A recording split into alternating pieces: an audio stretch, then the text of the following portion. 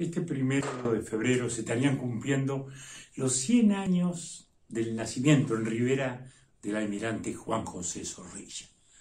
Marino de profesión, militar honrado, serio y demócrata, pasa la historia cuando el 8 de febrero se enfrenta a sus otros colegas comandantes en jefe del ejército y de la Fuerza Aérea que se volcaban hacia un golpe de Estado, bloquea la ciudad vieja con camiones, con ómnibus, pone a la Armada en posición de combate y le avisa al presidente que tiene una posibilidad de negociar en fuerza porque la Armada le puede ofrecer en la ciudad vieja un espacio libre y garantido.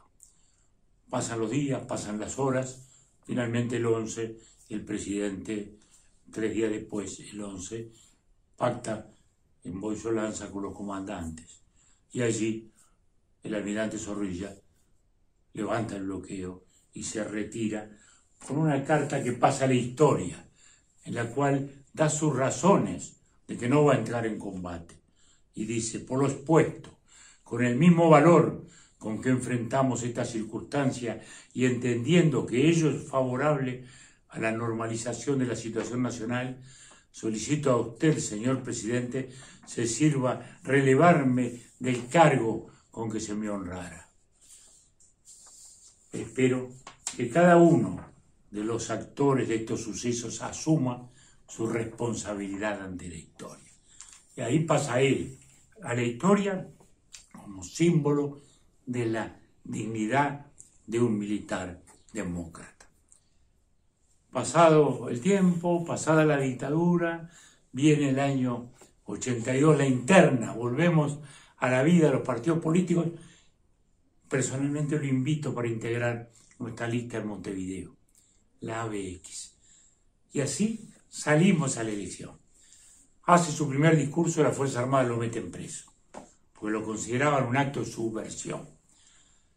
Llegamos a la interna, el partido hace una gran elección, Zorrilla no puede incorporarse a la convención, desgraciadamente, porque aún lo mantenían preso.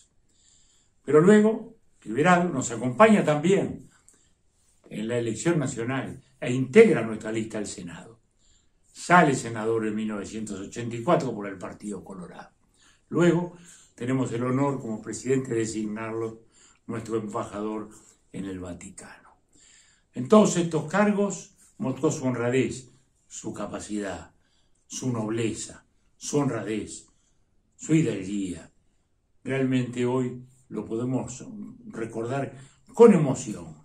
Y quienes vivimos aquellos lejanos tiempos del golpe de Estado y recordamos lo que fue aquella actitud de la Armada y aquel bloqueo, no podemos sino decir que en esta época de tantos falsos héroes que andan por allí, allí tenemos un gran héroe del civismo el contraalmirante Juan José Zorrilla.